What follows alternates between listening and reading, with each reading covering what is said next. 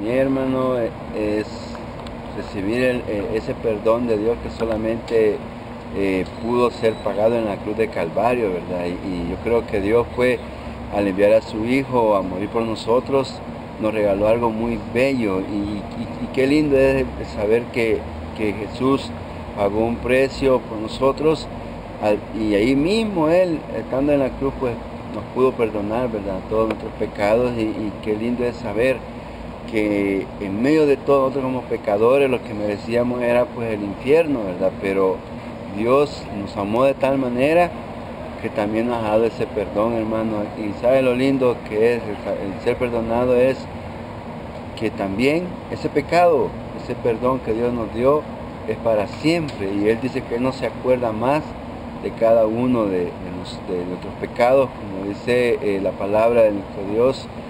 En Miqueas 7, capítulo 7, versículo 18 al 20, dice que Él que Dios como tú dice que perdona nuestras maldades, que echas en el fondo del mar todos nuestros pecados, hermano.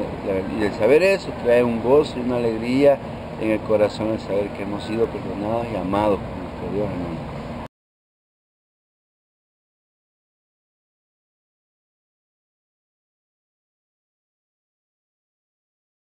Para mí significa cuando Cristo llega a tu corazón y Él es quien sana todas las heridas y todos los temores y pecados que nosotros podemos tener.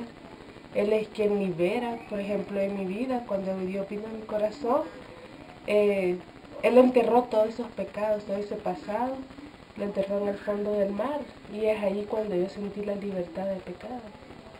Y por eso puedo decir que ahora soy libre. Y la verdad que Solo con Él podemos obtener esa libertad, porque hay personas que pueden estar libres en el mundo, pero con esos pecados siempre están presas. Y solo Él puede darles la libertad de pecado, la libertad de la vida eterna, que solo Él puede dar.